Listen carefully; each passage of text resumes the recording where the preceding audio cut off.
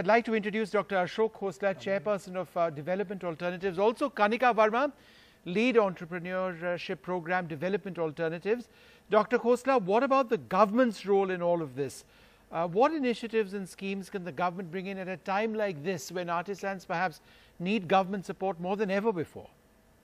Well, government has uh, come alive to this, and for some years they've been thinking about and doing uh, a lot to try and help clusters of, of craftspeople all over the countryside.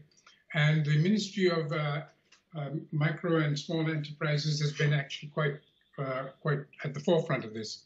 Uh, first, I, I, just wanted to say I'm delighted to be here. And Prannoy, you remember uh, 40 years ago when we were starting Development Alternatives, you were one of our early supporters and, and guides. We, we go back a long way. Um, several subsidiaries of, of DA, Development Alternatives, have been set up over those last 40 years. And uh, one of them is the India and Micro Enterprise Foundation. And we've been working with several ministries. The government has been quite supportive. Uh, and uh, we are uh, iteratively developing with government uh, ideas about how to reach craftspeople on a much, much larger scale than before. Sure. Kanika, I'd like to ask you a question. Uh, let me ask you, uh, how does one build scale? Uh, what I mean to say is that how can handmade be scalable? Um, thank you so much. And again, I'm delighted to be here and delighted to be part of this initiative. Uh, I think the the most important thing and the premise that we base anything that we're developing is to make sure that the artisans are empowered. And I guess this is what uh, this campaign is about. And we have a very um, simple three step process for doing that. One is looking for innovative collaboration. And I think this is where our collaboration with Habba um, is extremely important because uh, the support that we provide to the artisans combined with the market support can really take things um, to scale. I think the second step in the process is to make sure that we have their voices in the solution. At the end of the day, it's their aspirations and their needs. And technology can be extremely uh, disruptive, but it can also be a double edged sword. So we always make sure that um, their voices are in the solution. We co create the solution with the artisans. I still remember we had gone to a village um, and where a lot of the elderly um, weavers were like, but who are you creating the solution for? Because the young people don't want to be part of the solution. So we started spending a lot of time with uh, the youth, and then we started figuring out how they could be part of improving value chains. Maybe look at even sometimes of some kinds of designing um, initiatives. I think the other is to make sure that women are an important aspect of um, what we do.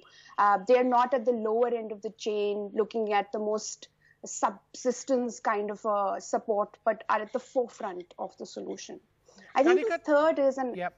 No, Kanika, I was just very just, curious to yeah. know about your Sfurti program. Could you tell us a little bit about that? Yeah, and, and I think that's where Sfurti comes in because um, I think Feroz was also talking about it that we're looking at long-term sustainability. And the Sfurti program is to just make sure that we have the right infrastructure that the artisans require so they can move away from drudgery and also provide support by collectivizing them.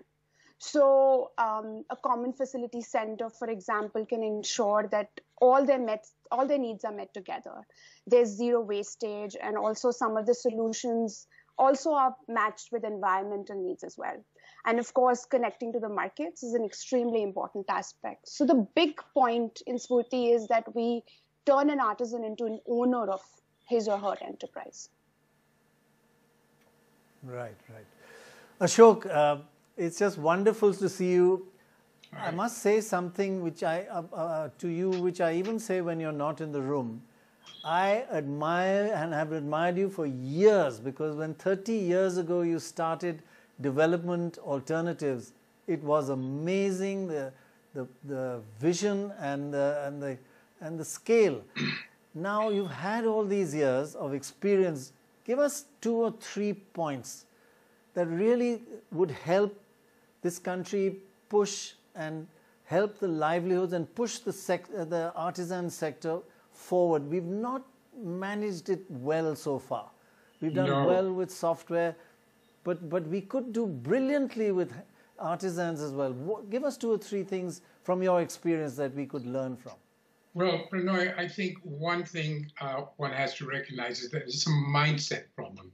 Uh, one has to go back to the Mahatma really to see that it's insights, it's the commitment, it's the dedication to certain visions that a country has to make if it's going to get its problems solved. And basically, Gandhiji said, you know, you start at the bottom. You basically put the last first. And if you design your development patterns uh, to take care of them, uh, you have a totally different outcome and the kind of outcome that you're talking about, both in terms of improving large numbers of lives, but also at large scale. Uh, so the first thing is that we forgot. I think over the last 75 years, we were so concentrated on providing for Sensex and uh, stock markets and FDI and large-scale capital investments that we really forgot that a very large part of this country, in fact, two, two-thirds, maybe three-quarters of this country, depends on uh, household and creative industries, industries that really me- mean a lot and, uh, and are huge potential for serving our own needs as well as for exports. So that's number one. Number two, uh, one has to also recognize that we've destroyed, we've destroyed more than simply jobs and livelihoods. We've destroyed our environment, our forests, our rivers, our soils. We're now in very serious trouble. I mean, our next generation is going to pay very heavy costs uh, for the kind of uh, product, lack of productivity, this destruction of productivity of our resource base that we've landed them with. So now we've got to design our future and our jobs and our livelihoods in such a way that we also regenerate the environment. So the second thing you really need is to, to look after that.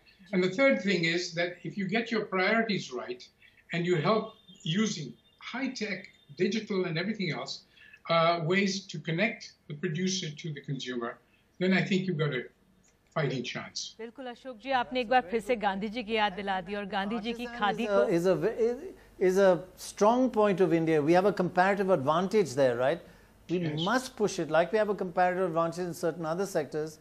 Artisanship and craftsmen, uh, exactly. craftspeople are just our strength, and we we somehow Right. are ignoring it. Yeah. Right. Very very good points. Very good points. Thank you, Ashok. Thanks. Thank you. And God bless you for the work you're doing. Thank you. बिल्कुल गा- गा- बहुत बहुत धन्यवाद अशोक जी और गांधी जी की जो खादी है उसको एक नई राह के साथ हमें आगे लेके जाना है